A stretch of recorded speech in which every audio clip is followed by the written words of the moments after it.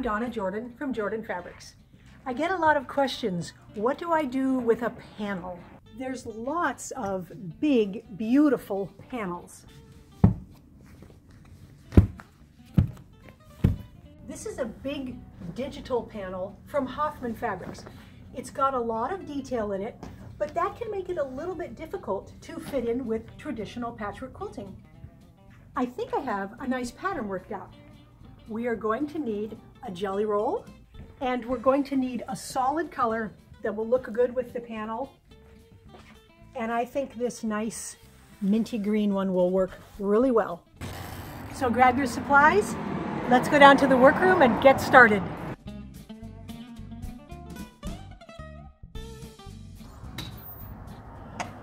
Let me show you what we're gonna do with this panel. I've been sketching out what I think is gonna look really good in here.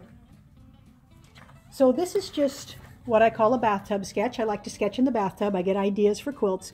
So we are gonna do the jelly roll strips here. And we're gonna add the green down here. The first thing we wanna do is open up the jelly roll and pick a color that's going to be an accent.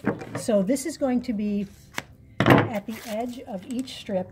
And since my background color here is aqua, I think I'm going to use these lavender ones for the accent. So let's open this up and put those two aside. Yeah, I think we'll do these two. Those will make a good, good contrast there. Put those aside. Now, out of the rest of them, we want to pick 22 strips. And I'm probably going to use most of these colors except the aqua ones because there won't be enough contrast. So we'll just pull those out and use those for another project. Now we're going to take 12 of these strips. It doesn't matter which 12 you use, but you're going to cut one piece at 10 inches off of each one. Since I just need the one piece, I'm going to layer these up I'm opening them up and I'm layering them up as carefully as I can. I really only need a little bit right here. So I'm gonna do about eight layers at a time because that's what I can cut easily. So I actually stacked up six at a time because I've got a total of 12 and I'm gonna cut off the selvages there and then measure over 10 inches. And then because these pieces are pinked, I am going to see if I can't clean them up a little bit so that I don't have to work with as much of this pinked edge. So I'm going to put this on a line here. And I can actually trim a little teeny bit off of each side and then they will be more accurate and less hairy looking. So let's just get rid of all of that there and then we're going to trim right over here and that'll make the strips quite a bit easier to work with.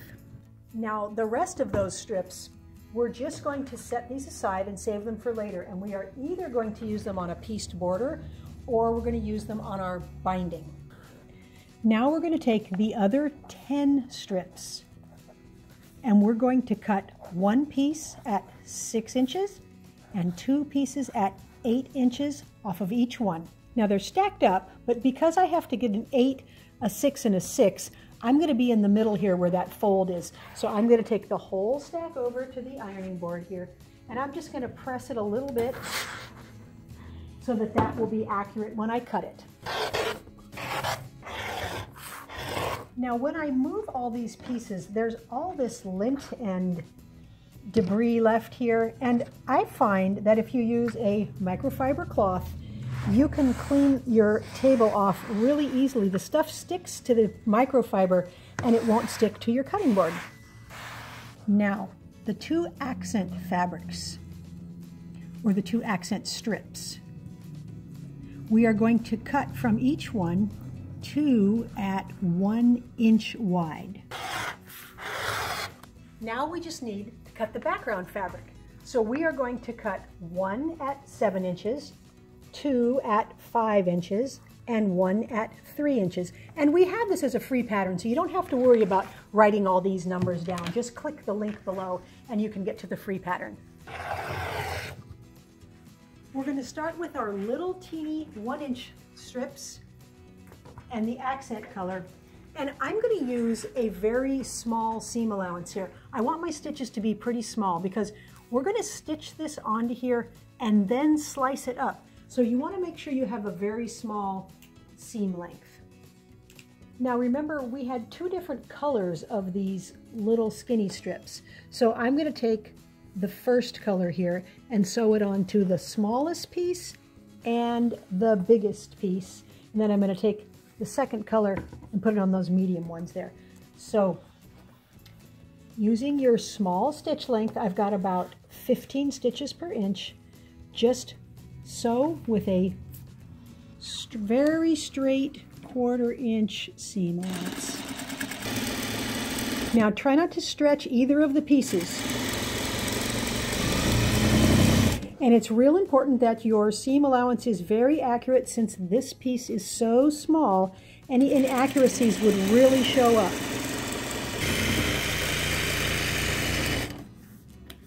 Now I'm going to finger press this seam. So I'm going to open the seam up and use my fingernails or the pad of my finger to press right down there because that will open it up. We don't want a divot in here. We don't want it folded like that. We want it all the way open and if we do this before we iron, it makes it really easy to iron it flat. Now, even though we finger pressed, we're still gonna wanna iron these. So I like to put this on the edge that's straight, like the edge of my ironing board. You can use a yardstick, something that's straight, and then use some a dry iron first, smooth it out as you go, and then when it's straight, add some steam. Now we can cut these in bulk. So I'm going to put these on my cutting board and I'm going to have them all lined up on one of the lines, but not all lined up in the same spot because I don't want all of this to be on top of itself because it'll get too lumpy. So I'm just moving this one down one inch and then this one's a little bit shorter. We can put it right on top. Now I can cut them all at the same time and I'm only cutting at most eight layers, but I can cut in bulk. Now these are going to get cut two and a half inches wide. And you can again use your weight here if you want for more stability. So I'm going to cut off the selvages here. And then I'm going to cut some strips two and a half inches wide. So now we've got 12 from each size here. So there's 24 of these because we had two strips that we made, two, two separate units there, and we've got 12 of these guys. Now we're going to lay out our colorful strips here. So you want to look at the colors. We're going to, we've got three, three different sizes here. So we're going to start with the shortest. Then we're going to do a medium. Then we're going to do a long one then another medium. So usually what I will do is keep following this pattern and when I'm all done I will trade colors around so that we have a nice color blend so we don't get too much purple or too much green on one end. So we're going to do short, medium, long, medium, short, medium, long until we've got 22 laid out. I know I said there was 22, there's actually 21 in the row here. There's 21 and it makes a little curved effect there. So these are going to get sewn side by side, but before we stitch them, we're going to add one of these to the end. So we're going to add the short guy to the longest strip, and we're going to add a medium sized one to the medium strip, and we're going to add a long one to all of these shortest strips. So we're going to end up with both edges exactly even. So we've got one row here we're going to do, and another row there. I've picked up my pieces in order, and I put a big pin through there. So now I'm going to keep them pinned while I stitch on these pieces. So this is one of the shortest pieces, so it's going to get one of the longest pieces stitched to it. So I'm going to leave it pinned on there, put it right sides together, flip that stuff out of the way, and stitch with a nice, careful quarter inch seam there. And it is easiest if you finger press as you go. You want to press that seam toward the accent. So these are being pressed towards the middle there. So now we'll just Keep that on there and we'll grab the next piece. This is a medium size piece. It's going to get a medium size accent. Now, if you're not sure if you're grabbing the right one, you can always check here. It's going to be the same length as this one when it's done. So keep adding the accent and the little teeny strip here till you have this whole stack done. This is the last strip that needs to have those accents added. So now I'm going to pick up the pinned area and make sure that they all came out the same length and I didn't stitch anything that was the wrong size on there. They're all right. Okay, so now I'm going to take the pin and I'm going to just poke it through from the back and I'm going to leave it just like that. And I'm going to take the top one off and the next one off and I'm going to stick this on the right side. So I'm going to keep adding to the right every time I pick one up. These are exactly the same length. So just use your quarter inch seam and stitch them together. So keep your seam allowances pointing towards the center there. And every row that we stitch, we are going to finger press as we go. So we're going to finger press all the seams to the right. We're going to keep adding pieces to the right and we're going to keep finger pressing to the right. Now when you have these seams, you have to press a little bit harder. Now we're just going to take this piece off, add it to the right, and just keep going till the stack is all done. Just one more to put on. So this is the last guy. We'll stitch it on and then let's get it ironed nice and flat. Now I'm going to want to stretch it out. I think I'm going to start from the back side actually. We want to make sure these seam allowances go the way we want them to. So I'm going to just dry press it from this side. And then once you get part of that done there, you can flip this over and it'll be real easy to get this nice and flat. And these seams seam allowances are kind of thick where this spot is, so make sure they're facing the right way, but then you can steam it.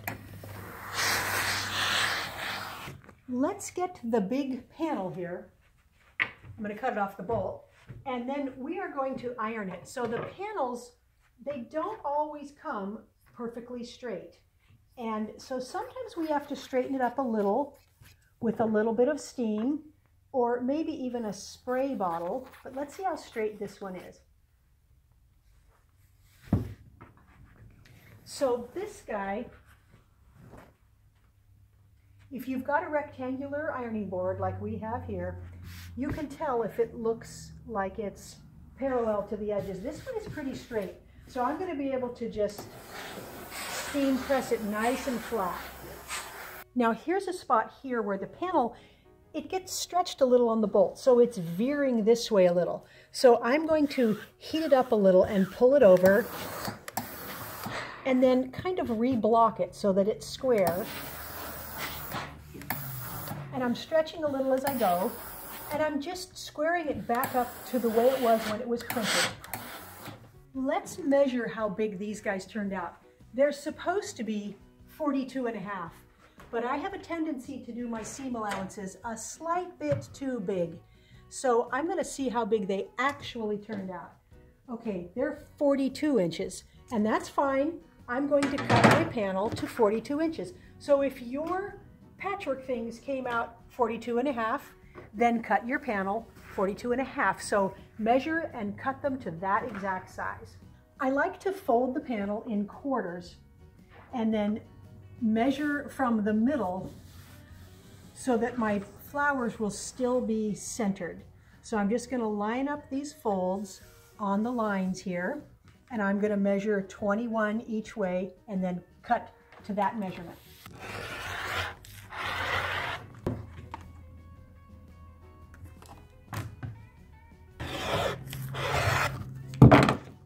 Now, let's see how these panels are going to look on here. When I designed the pattern, I thought that I was going to put the colorful part up against the panel. But now that they're made, I think it's going to look better with the solid. So this is how I thought I was going to put this on here, like that.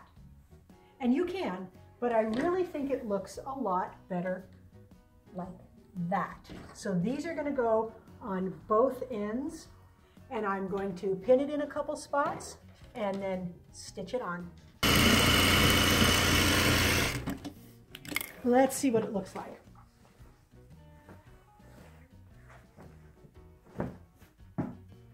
Very nice.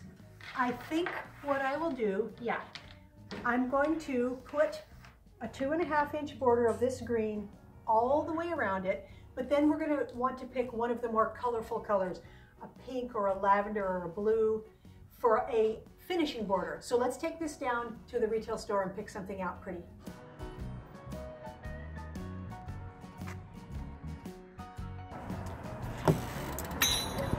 So I'm going to use a solid for the border. I could use a nice batik, but I think I'm going to stick with the same kind of prints we've, the same kind of solids we've got in here. Let's pick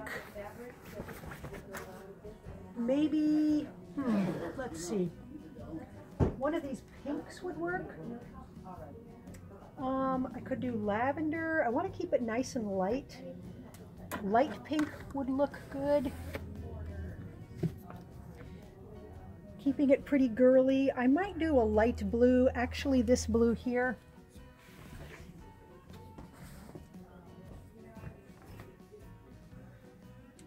I think the blue will look better.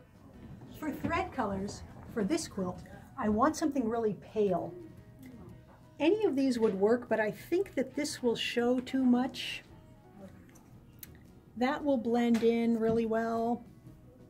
I think I'm going to go with this really light peach. It's going to show up a teeny bit in the colors, a teeny bit on the green, but it's really soft and that's what I want. For the quilting pattern, I want something that looks like petals.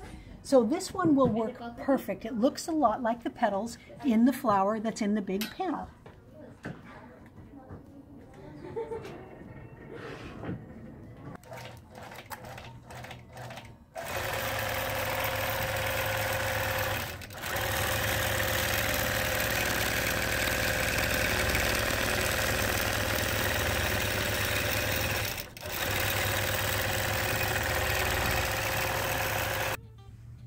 Here's the finished panel quilt. I'm really happy with how it turned out. So soft and pretty in these pastel colors. The patchwork border here, it's the same fabrics on the binding. So we took the extra pieces from here and made a pieced binding. And that just has got all the same colors going around the edge. It turned out about 56 by 78 inches, so it's a nice throw size. Quilting looks great, looks like petals, Really a fun project and a great way to use up these panels. This was so much fun, I made another color. So this is a deeper color, and we've got more contrast here with the accent compared to the panel that's in the middle. And that gives you a completely different look, very rich colors, but a great way to border these panels. Thanks for watching today. I hope you enjoyed it. Be sure to subscribe to our YouTube channel so you can see all of our tutorials. Happy quilting!